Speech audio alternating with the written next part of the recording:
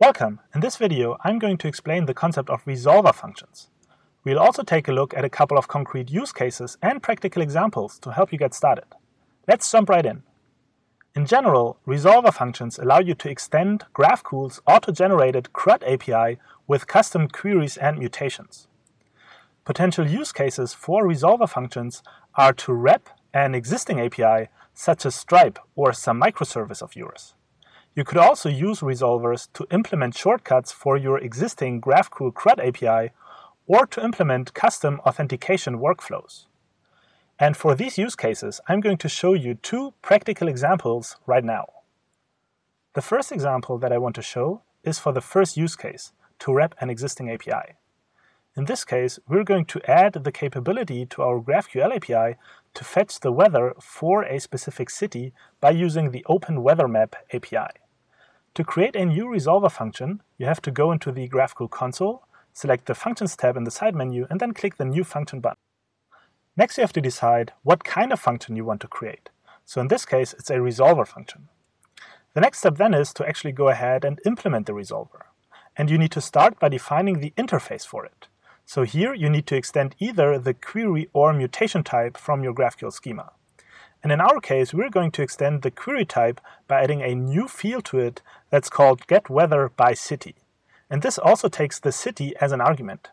It returns the getWeatherByCity payload that only contains the description and the temperature for the weather. All right, now that we defined the interface, we can go ahead and implement the actual function. Here's what it looks like. We first retrieve the city from the event that is being passed into the function. Then we're constructing the endpoint with that city as a query argument, and then finally we're just calling fetch on that endpoint. And then we're converting the data that we receive from the OpenWeatherMap API into the structure that we defined with the getWeatherByCity payload up here. Great, that's all we need to do for the implementation.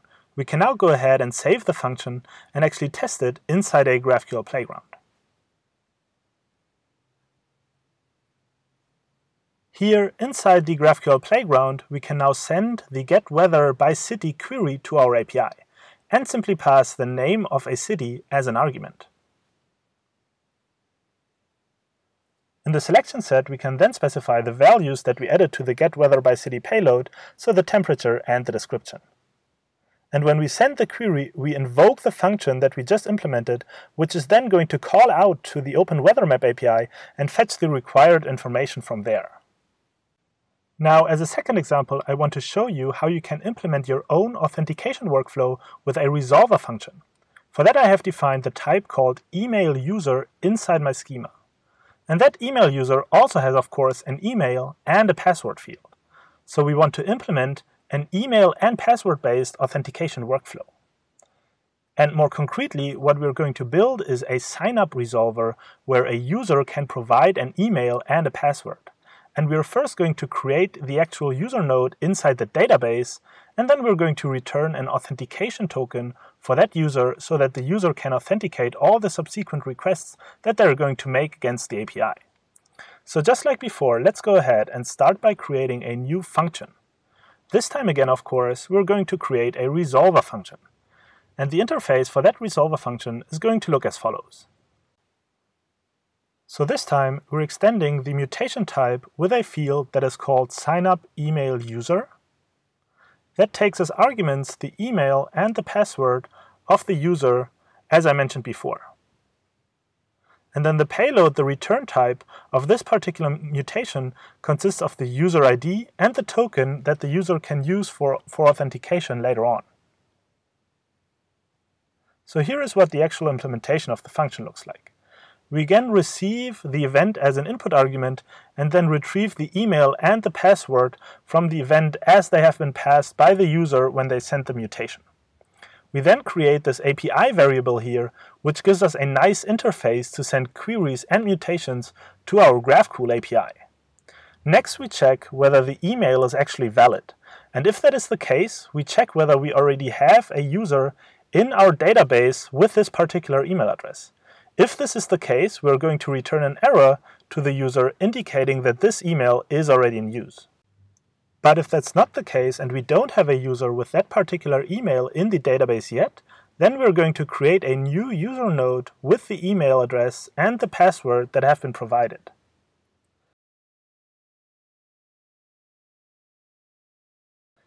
Once the user was then created, we're going to use the generateAuth token method to actually go ahead and generate the authentication token for the user based on their ID and the type inside our database. When we receive that token, we can then package up the return values for our mutation. And that is the ID, which is the GraphQL user ID of the user that we just created, as well as the authentication token that we generated right here. And this is all we need to do for the signup function, so let's go ahead and save it right now. Now, just like before, let's go ahead and test this new signup function inside a GraphQL playground. I'm heading over to the playground and I'm calling the new signup email user mutation that we just created. I'm going to enter my email address, as well as a simple password and ask for the ID and the authentication token in return. Now I'm going to send this mutation and we receive the ID of the new user as well as an authentication token. And if we navigate over to the data browser, we see that this new user has been created and the password is actually stored as a hash as we implemented in the signup function.